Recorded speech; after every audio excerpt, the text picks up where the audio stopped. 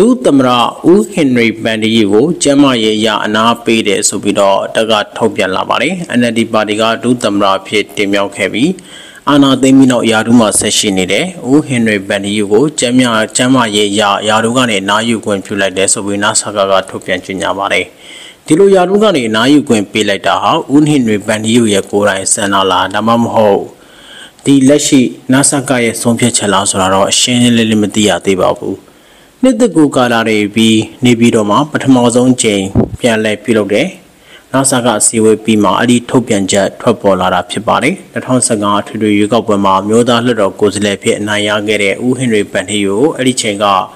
ရွေးကောက်ပွဲနေရာအများစုအနိုင်ရခဲ့တဲ့ NLD ပါတီဝင်လွှတ်တော်ကိုယ်စားလှယ်တွေကဒုသမရနှစ်အဖြစ်ရွေးချယ်တင်မြှောက်ခဲ့တာဖြစ်ပါတယ်။ဦးဟင်ရီပန်ဟီယိုဟာဗိုလ်မှူးဟောင်းတူလည်းဖြစ်ပြီးတော့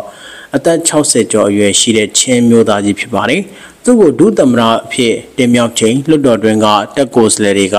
ကန့်ကွက်ခဲ့ကြပါသေးတယ်။ဒါပေမဲ့2021ခုနှစ်အာနာသိမ်းပြီးနောက်ဦးဟင်ရီဗန်ဒီယိုဟာဒုသမရနှစ်အဖြစ်ဆက်ရှိနေခဲ့ပြီးအစောပိုင်းကာလအစည်းအဝေးတွေမှာဦးဟင်ရီဗန်ဒီယိုကို ဒုသမရနှစ်ဖြစ်ဖော်ပြတာချင်းရှိသလိုခွင့်ဖြစ်ထုတ်ပြန်ဖော်ပြတာလည်းရှိသလိုလူမြင့်ကွင်းကလည်းပျောက်ကွယ်နေခဲ့ပါတယ်ဒါပေမဲ့2023ဇူလိုင်ကကျင်းပခဲ့တဲ့ကာလုံစည်းဝေးမှာဦးဟင်ရီပန်ဒီယိုစတင်တက်ရောက်ခဲ့ပြီးဗိုလ်ချုပ်မှုကြီးမေအောင်လှိုင်နဲ့လက်ဆွဲနှုတ်ဆက်တဲ့ပုံရိပ်တွေပြန်လည်ပြီးတော့ထွက်ပေါ်လာပါတယ်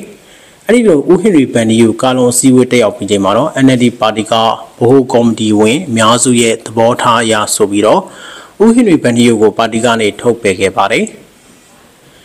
နောက်ပြီးတော့ဒီကနေ့ပြုလုပ်တဲ့နာဆာကအစည်းအဝေးမှာ